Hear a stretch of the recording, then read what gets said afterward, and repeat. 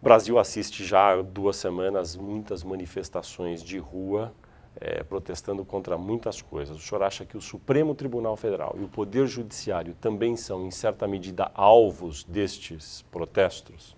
Tenho a impressão de que to, todo o poder constituído, de alguma forma, está uh, sendo. Uh, tendo a atenção chamada uh, por conta desses protestos. Quando as pessoas gritam contra a corrupção, de certa forma, estão falando em relação ao legislativo, ao executivo, mas também em relação ao judiciário, porque pelo menos é o judiciário que julga esses processos, não é? quando não é alvo da própria acusação.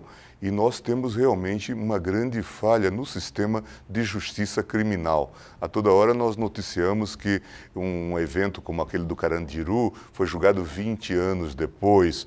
Em suma, temos um grande problema nessa área. Mas que eu tenho até dito que é, um lance importante hoje no prosseguimento da reforma do judiciário seria dar atenção específica à justiça criminal. Ontem, por exemplo, nós tivemos aquele caso de um deputado de Rondônia já os segundos embargos de declaração. Justo. Tecnicamente, não houve trânsito em julgado, mas o tribunal disse agora já é abusivo.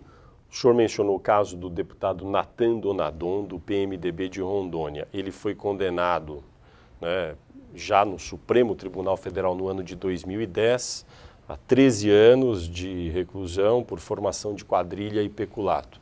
2010, nós estamos em 2013.